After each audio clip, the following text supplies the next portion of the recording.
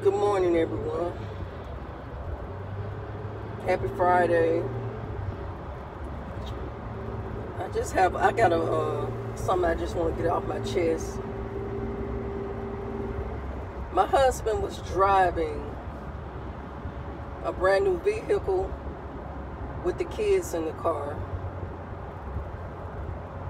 And no, by us living in a predominantly white neighborhood, a cop pulled my husband over for no reason.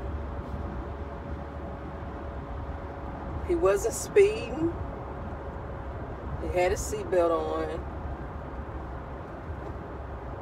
And when when the cop pulled him over, he he was like, "Man, what happened? What did I do?" And and her response were was, "I see you driving a new vehicle." What's wrong with a black man driving a brand new vehicle with his kids in the car?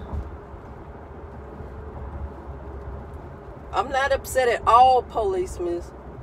It's a couple good cops around, but why would you pull a man over just because he's driving a new vehicle? A black man. If my husband was white, she wouldn't have pulled him over. Just because my husband is a black man, she pulled my husband over because he's driving a brand new vehicle. This is crazy. I'm tired of this craziness in this world. I mean, these cops, they're, they're just, they, they're outrageous now. They're out of control.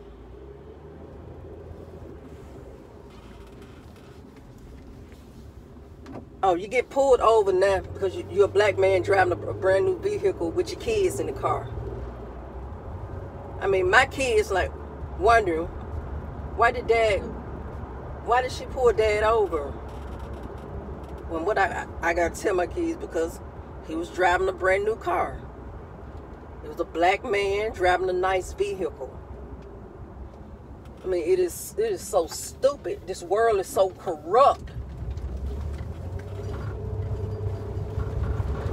And I hate my husband didn't get her badge number. Because her ass would be doing She'll be sitting at a desk or fire for that shit. Go pull somebody over just because they driving a new car. Or pulled my husband over because he a black man driving a new car. I mean, it, it, this shit is just, it's crazy.